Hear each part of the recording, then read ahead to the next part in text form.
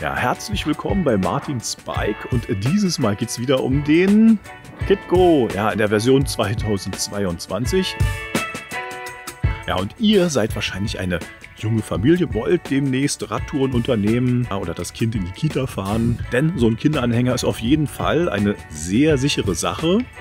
Auf jeden Fall ist der Kitgo von Keridu äh, von guter Qualität. Ja, und dieser neue Kitgo ja, ist dem Vorgänger sehr ähnlich. Ja, und deswegen schaut euch meine zwei älteren Videos dazu auch mal an.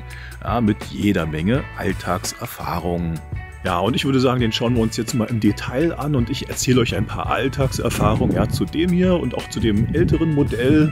Ähm, das hat uns nämlich ganz gute Dienste erwiesen. Fast weniger zum Radfahren als viel mehr als Buggy. Kommt, wir schauen mal rein. So, da ist er, der Kitco. Und ja, wir gucken einfach mal der Reihe nach, was mir so einfällt, hier uns mal genauer an. Ja, und ich würde sagen, wir fangen hier mal beim Rad an.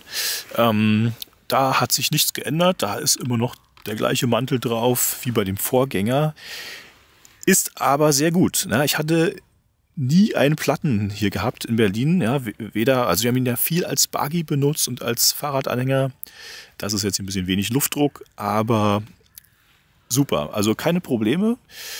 Wenn man ein bisschen mehr Komfort haben will, ja, könnte man sich tatsächlich ähm, so Ballonreifen drauf machen lassen. Bei meinem Fahrrad habe ich ja diese Billy Bongers drauf und die könnten dann noch ein bisschen mehr Federung tatsächlich, also ein bisschen mehr Komfort dem Rad geben. Ja, hier ist, ja, hier könnt ihr das Rad abnehmen, sehr leicht, sehr bequem, sehr gut, hat sich auch nichts verändert. Die Felge ist schwarz. Ich würde sagen, da haben wir das Rad schon durch. Ähm, hier sind die Bumper. Die sind jetzt übrigens neu. Ja? Ihr könnt die hier irgendwie so abnehmen. Mal gucken, ob ich das hinkriege hier mit einer Hand, weil mit der anderen muss ich ja gerade filmen. Den kriege ich gerade nicht hin. Aber es ist wirklich leicht abzubekommen. Ja, beim Vorgänger gab es bei, bei meiner Version zumindest Probleme. Da schob sich das ganz schwer ab. Ja, das geht aber super. Ja, hier oben ist jetzt gerade keiner dran an allen vier Ecken. Und zwar, ich zeige euch, ich habe ähm, ich benutze ihn jetzt wieder viel als Radanhänger. Aktuell für die Kleine fahre ich damit zur Kita. Und da habe ich das hier einfach reingetan. Und das geht neuerdings, weil die Fahne kleiner geworden ist. Vorher waren es zwei Teile. Ähm, ich glaube, das ging auch. Aber die musste man immer ineinander stecken. Und ja, jetzt habe ich das hier äh, einfach mal im Rad verstaut. Klar, wenn ich es lange nicht bräuchte, dann lege ich es irgendwo in die Wohnung. Und ihr könnt den Wimpel hier rein drehen, wie ihr seht. Aber ähm, weil das auch ein bisschen schwierig geht und auch immer ein bisschen Zeit braucht, mache ich das einfach, lasse ich das einfach hier alles dran und schieb's dann einfach schnell ran. Und dann steckt der Wimpel. Ja, ihr wisst, mit Kind muss immer alles schnell gehen. Und so geht es tatsächlich schnell. Ja, also wenn ich das hier mal rausdrehen würde, das dauert dann auch wieder. Aber egal. Jedenfalls eine gute Sache. Besser als beim Vorgänger. Ja, dann kommen wir hier zu dem Griff. Da hat sich auch nichts verändert, meiner Meinung nach.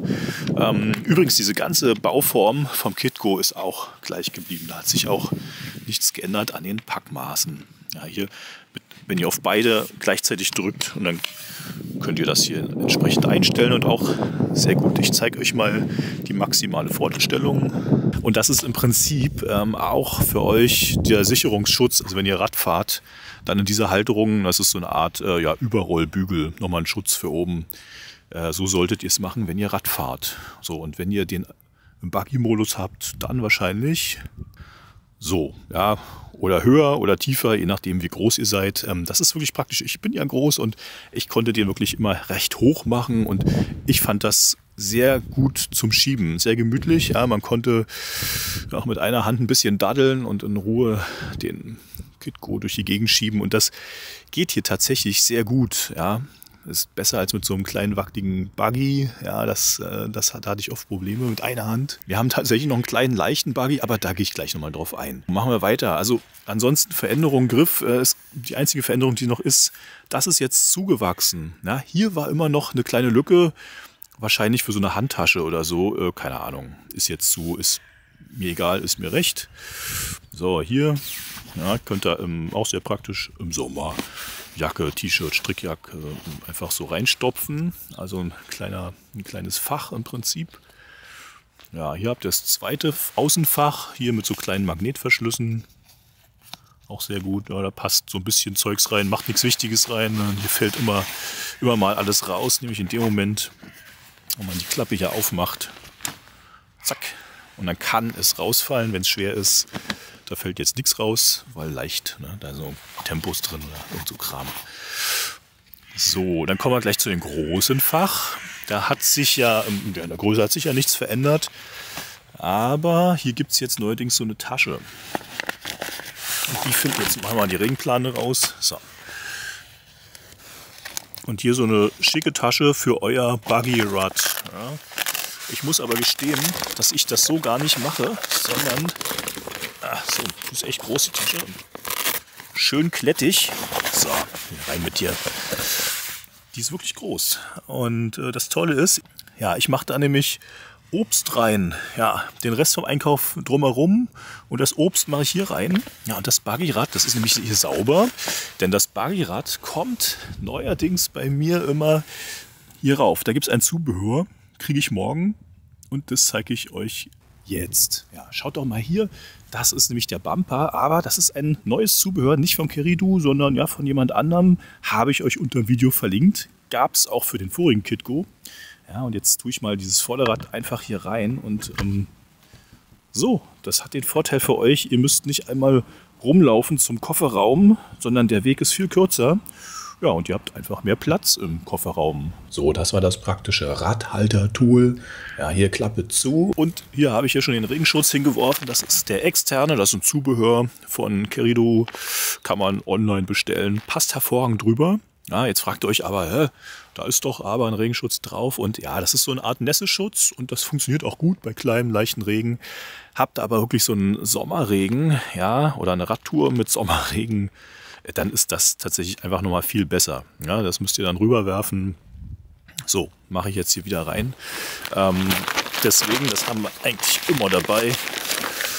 Außer man weiß, es wären 30 Grad und 20 Tage Trockenheit, dann packe ich es wieder raus. Ja, dann gucken wir uns noch mal kurz diese Plane an. Ich mache dazu noch mal diese Halterung hier zu. Mit einer Hand kriege ich es hin. Naja, geht gerade so mit einer Hand. Man kann es aber zumachen. Ja, ich finde das nicht so glücklich gelöst hier mit diesen Schlaufen, aber es geht. Achtet darauf, dass immer genug Überhang ist hier. Dann könnt ihr das hier auch noch mal richtig festmachen. Ja, es kann sein, dass es manchmal sehr knapp wird und dann rutscht das hier raus. Blöd, wenn das so ist. So, dann zeige ich euch jetzt hier diese Plane. Hier ist ja ein Reißverschluss hier drunter. Na, da zieht ihr natürlich zu. Oder kann man es kletten? Ja, man kann es kletten. Ne? Man muss auch gar nicht zumachen. Ähm, um Luft durchzulassen, könnt ihr das auch auflassen im Sommer. Aber sicher ist sicher. Ja. Ähm, und ich reiße das mal hier hoch. Hier oben seht ihr diese beiden äh, Gummischlaufen und da ja, rollt ihr diese Plane hier zusammen und könnt die hier oben so befestigen. Und darunter haben wir den Moskitoschutz. Okay, da wir aber nicht in Afrika leben, äh, sondern hier in Deutschland, sage ich jetzt mal Fliegenschutz und ja, der ist hier drauf. Hatte sich auch beim Vorgänger alles bewährt, da ist nichts kaputt gegangen. Ähm, das war perfekt. Ja, hier seht ihr gerade, so habe ich das hier hochgebunden, hier festgemacht. Darunter sind nämlich auch nochmal so eine kleinen Gummis und die kann man dann da reinhaken. So. Ähm, das ist natürlich auch so ein kleiner Sonnenschutz gleichzeitig. Der Unterschied zum Vorgänger ist aber, dass jetzt hier dieses äh, Rollo weg ist. Ja, da ist ja eigentlich ein ja, Schattenschutz da gewesen und der ist jetzt hier in dem Fach, glaube ich. Ne? Habe ich doch eben gesehen. Den hatte ich doch gerade in der Hand. Und hier ist jetzt der kleine Sonnenschutz. Und den könnt ihr euch hier natürlich sehr individuell festkletten, würde ich jetzt mal behaupten. Kann man, wenn man es richtig rum reinlegt, und ich mache das einfach mal jetzt hier fest.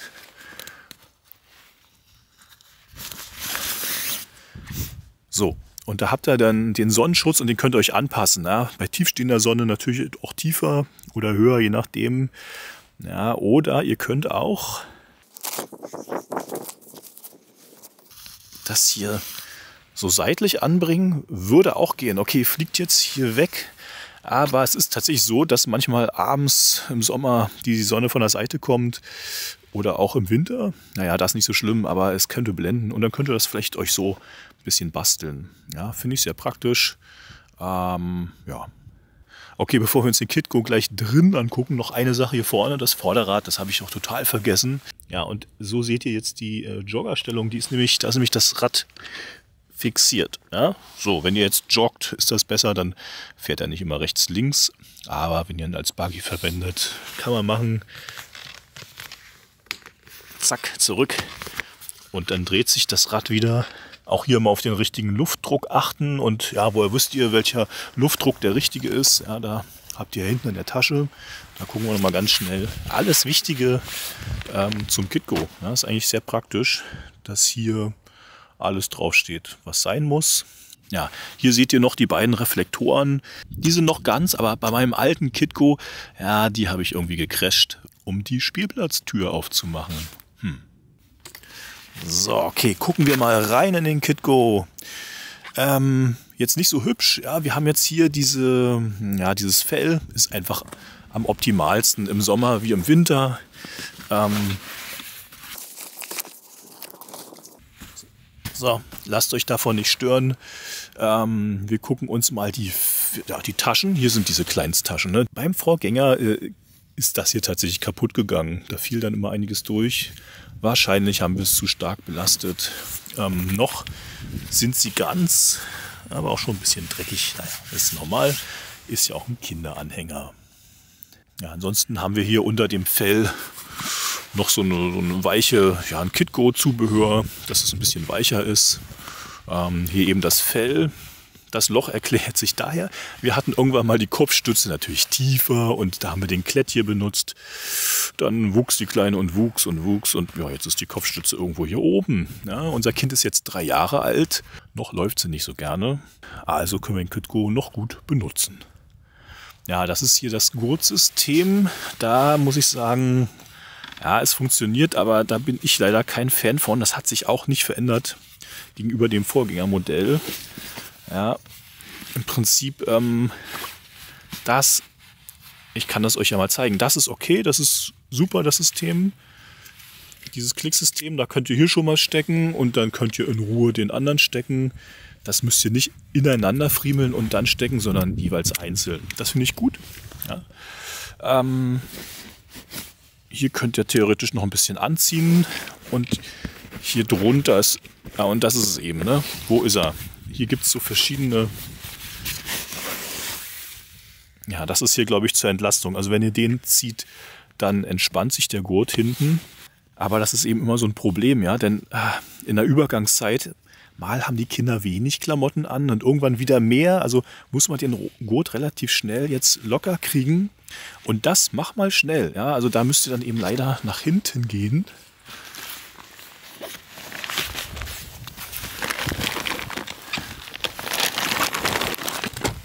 So, und hier, ich sehe hier schon wieder nicht durch. Ne? Hier ist irgendwie so ein Klett. Äh, genau. Hier ist im Prinzip das Teil, was ihr lockern könnt oder festziehen könnt, um den Gurt drin zu erweitern. Und der Klett hier ist, glaube ich, ich weiß auch nicht, der fixt hier irgendwas. Ja. Also ihr seht, das ist das Gurtsystem, das funktioniert schon, aber es ist eben leider so nichts, was man mal schnell machen kann. Also man sollte es wirklich in Ruhe einstellen. Ja, am besten mit ein bisschen mehr ja, Platz, so dass ihr dann vielleicht nur diesen, diesen unteren, den Mittelgurt ähm, festzieht. Okay, jetzt habe ich euch den Fliegenschutz auch nochmal weggerollt, damit ihr das seht. Der ist jetzt hier drunter. Ja, das ist tatsächlich auch noch so ein kleines Fach.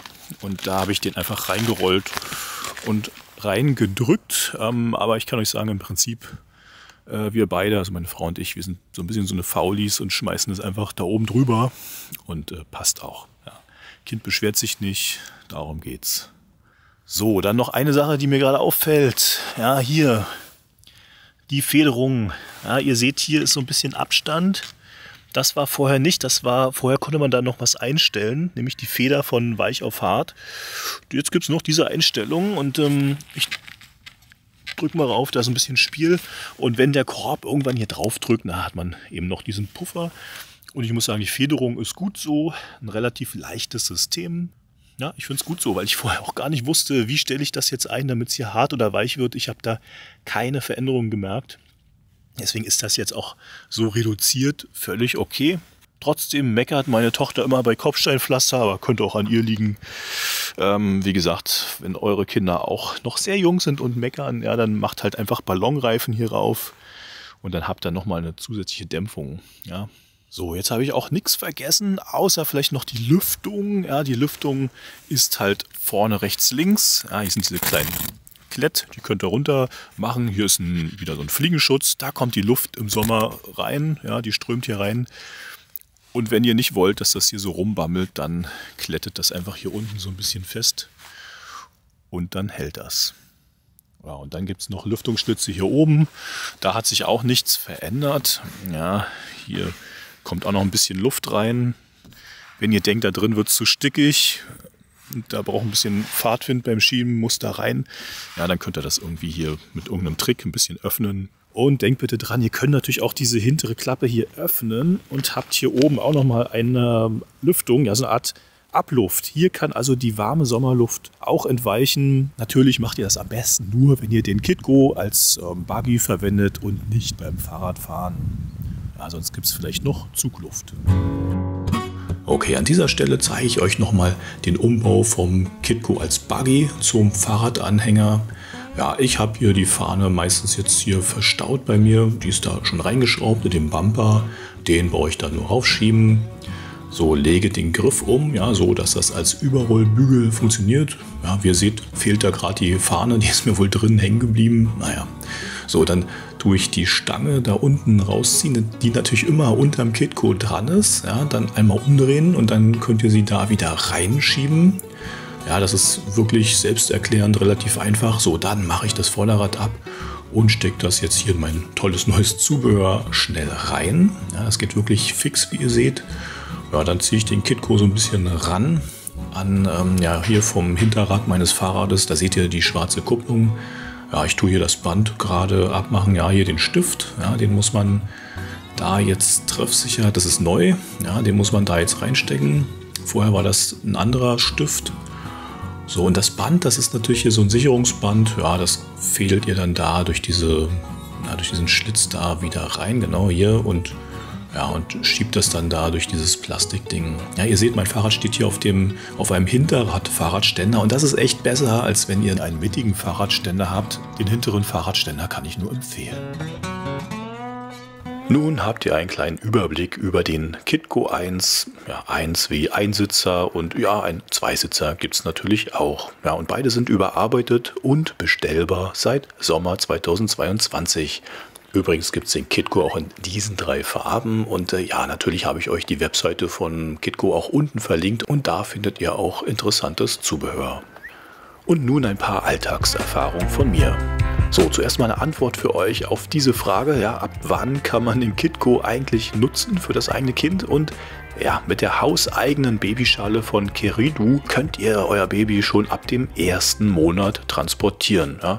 Bei uns war das ein bisschen anders. Ja, ich hatte den Kitco erst ab dem zehnten Monat im Einsatz, ja, weil die kleine Lady im Spätsommer geboren wurde und wir im Winter keine Radtouren unternehmen wollten. Ja, unser Kind konnten wir anfangs nur im Tuch tragen und den gut gefederten Kinderwagen einer anderen Marke hatten wir auch erst ab dem zweiten Monat im Einsatz, ja, weil es unserem Kind einfach nicht gefiel, da in so einer äh, Schale vom Kinderwagen zu liegen. Ja, das hat ein wenig gedauert.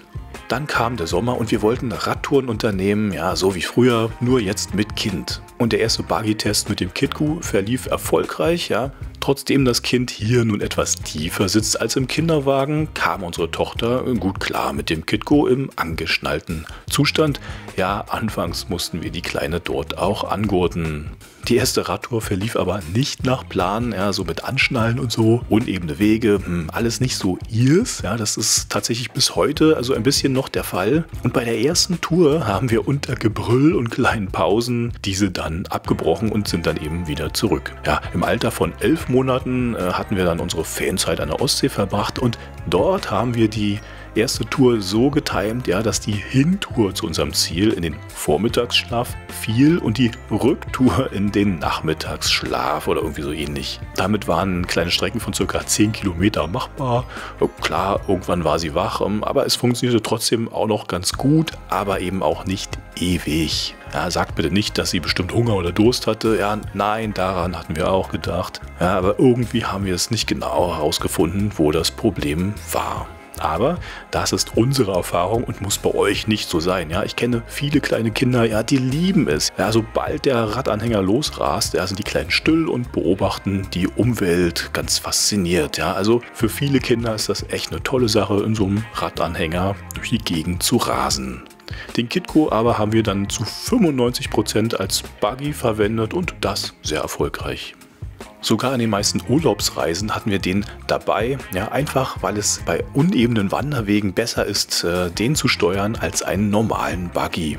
Tatsächlich hatten wir auch einen kleinen Buggy, weil der einfach noch kompakter zu falten war. Und als Alternative hatten wir den hier zu Hause äh, stehen und auch öfters auch mal benutzt. Ja, aber im Urlaub hatten wir den nur einmal dabei, sonst immer den Kitco.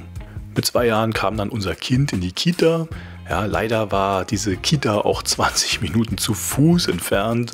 Meine Frau hatte sich für ihr Fahrrad einen Kindersitz besorgt. Das war für sie praktischer und auch das ging alles schneller beim Losfahren. Und ich hätte natürlich auch den Kindersitz nutzen können, aber da hatte ich keine Lust drauf, denn ein zweiter Adapter kostet auch wieder Geld und wenn man den Sitz immer wieder umbaut, ja, das ist auch wieder Zeit und das wollte ich nicht. Somit habe ich den Kitco eben als Transport fürs Kind genommen.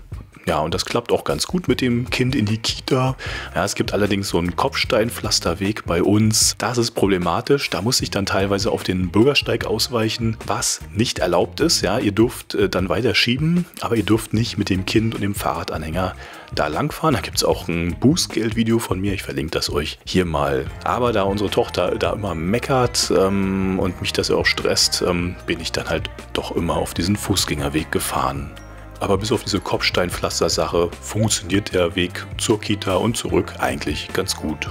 Super fand ich auch die Erkenntnis, dass man mit dem Kitco auch prima Einkäufe erledigen kann. Ja. Also so habe ich immer nach der Kinderübergabe in der Kita den Kitco äh, zum Discounter geradelt und habe ihn so richtig vollgeladen. Der Kitco ist ausgerichtet auf ca. 55 Kilogramm Gesamtlast, also bis ca. 40 Kilogramm Einkaufsgewicht ist auf jeden Fall machbar. Ebenfalls fand ich die Kombi Kitco und Fahrrad eben auch deshalb so toll, weil ich so das Fahrrad äh, alleine nutzen kann, also auch ohne Kindersitz. Ja, der ist ja auch immer Gewicht. Ansonsten, man könnte den Kindersitz natürlich auch immer abbauen, äh, in den Keller schleppen, aber das war mir zu aufwendig. Dann lieber Kitco anschließen ans Fahrrad, das ging für mich schneller und leichter. Meine Frau hat übrigens auch eine zweite Kupplung von Kerido an ihrem Fahrrad, ja, für den Fall, dass sie den Kitco auch mal ziehen muss. Ist auch ein paar Mal passiert. Also somit haben wir immer zwei, jeweils an einem Rad eine. though. Jetzt noch ein paar Worte zum Transport des Kitcos. Ja, ihr seht hier den Kitco im Bus und ähm, ja, das kann ein Problem sein, wenn ihr im Gepäckraum viel Gewicht habt. Dann kann es passieren, dass er nach hinten kippt und zwar, wenn er genau andersrum steht als jetzt hier im Bild ähm, und der Bus bremst, dann kann es sein, dass er kippt. Also stellt ihn lieber hm, mit der Spitze nach vorne hin. Ja, immer die Bremse schön festmachen. So, und Kitco im Auto ist auch eine super Sache. Das haben wir ganz oft gemacht, dass ich den auseinandergebaut habe. Und ihr seht ja hier ganz einfach die Räder abnehmen, den klein falten und dann kann man den da an diesem Bügel anfassen. Das ist sehr praktisch, ja, an dieser hm, Radanhängung. Und dann könnt ihr ihn Gepäckraum transportieren. Und wenn ich damit in den Urlaub fahre, habe ich den meistens auf dem Beifahrersitz. Ist ein bisschen problematisch wegen dem rechten Seitenspiegel, aber ihr seht, hier habe ich es hinbekommen und konnte rechts rausgucken. So, ihr jungen Eltern, also habt viel Freude mit eurem KitGo. Denkt bitte an mein äh, Bußgeldvideo. Ja, das spart euch echt Geld, denn Fahren mit dem KitGo oder mit dem Fahrradsitz auf dem Fußgängerweg ist nicht erlaubt. Ja, ja, es gibt Ausnahmen, die erfahrt ihr in meinem Bußgeld-Video oder schaut euch die beiden Videos zum KitGo-Vorgänger an. Dies hier ist ein Radkanal, könnt ihr natürlich auch gerne abonnieren. Ja, schöne Zeit mit euren Kindern. Bis zum nächsten Video.